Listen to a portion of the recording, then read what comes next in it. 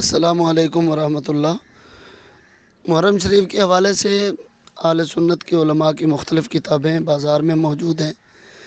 क्योंकि हमारा ताल्लुक़ अरबी किताबों से है तो मैं ज़्यादा उर्दू वाली किताबें तो आपको नहीं बता सकता।